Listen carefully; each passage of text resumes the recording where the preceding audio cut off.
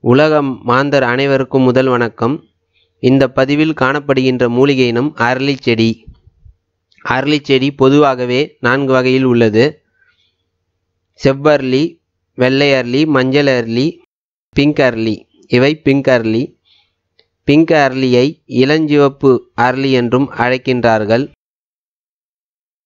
இவை அமைப்பு பார்த்தீங்கன்னா பல்வேறு பக்க கிளைகளை கொண்டு வளரும் தன்மை உடையது. இலைகள் நீல வடிவத்தில் காணப்படும். பூக்கள் கொத்து கொத்தாக பூத்து குலுங்கும்.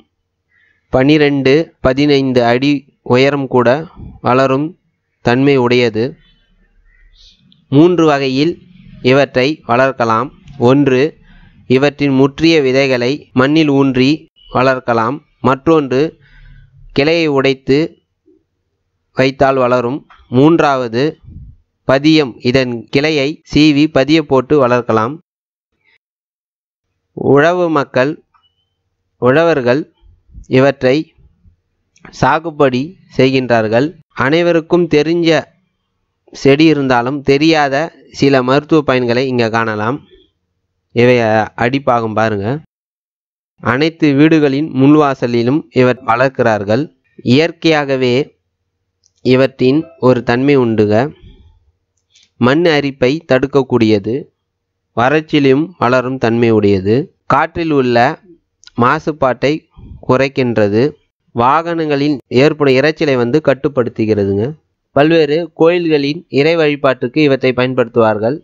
இவை வெள்ளை அரளி அதனுடைய பூவு முக்கு. பொதுவாகவே நான்கு அரளிக்கும் ஒரே தன்மை இருந்தாலும் செவ்வரளிக்கு சற்று மருத்துவ பயன்கள் அதிகம். அனைவரும் எளிதாகவே இதை வந்து வளர்த்துடலாங்க. இவை ஒவ்வொரு பூக்களும் அழகாக இருக்கும் பார்க்கறதுக்கு. பெண்கள் வந்து இந்த அரளி பிங்க் அரளியை தலையில் சூடிக்கொண்டால் பெண்கள் கண்டிப்பாக குறைந்துவிடும். இவை செவ்வரளி செவ்வரளி மற்ற அரளியோட அரிதாக காணப்படும். வீரியம் அதிகம் மருத்துவ பயன்களும் அதிகம். செவ்வரளி பூ மட்டும் பல்வேறு பாஷாணங்களுக்கு கூட்டு மருந்தாக பயன்படுகிறது. இவற்றின் ஒரு தைல முறை மருத்துவ பயன்களை இங்கே காணலாம். அரளிப்பட்டை முப்பத்தஞ்சு கிராம் எடுத்து ஒன்று ரெண்டாக தட்டிக்கணுங்க. அந்த பட்டை எனக்கு கிளத கீழே இருக்குது. அதான் பட்டை.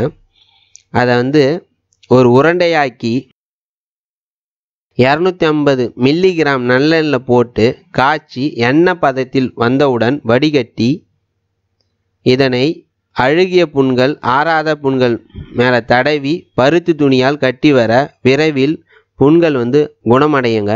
எப்படிப்பட்ட புண்கள்னா? குழி புண்கள் சக்கரை நோயால் ஏற்படும் தீராத புண்கள். தொழுநோய் ஏற்படும் புண்கள் கூட கையில் ஏற்படும் புண்கள் படுக்கை புண்கள் அனைத்து புண்களையும் ஆற்றும் படிப்படியாக.